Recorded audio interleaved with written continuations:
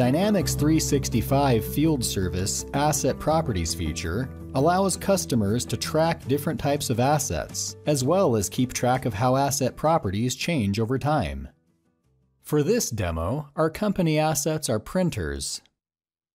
Going into the Properties tab, we have access to all current values of our properties. For example, the firmware version is 18.4. The last date of service was August 26th, and our print number is a 202, which is 18 more than the last time we updated the prints. We can update our information from within the mobile app or from within the back office by selecting New Property Logs. Here we log an increased number of prints and save. The number of prints is updated and the increase has been tracked.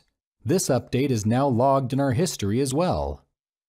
We decide to update the firmware version of the printer, so we add a new property log and increase the string value to 19. To make sure we are not logging properties that aren't relevant to an asset, we can create asset templates by first defining all of the active properties we track in our organization, then relate them into templates. For example, here is a template for tracking properties for laser printers.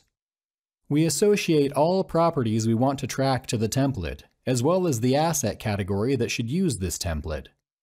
Now, we can log these asset properties for every asset in the category Printer.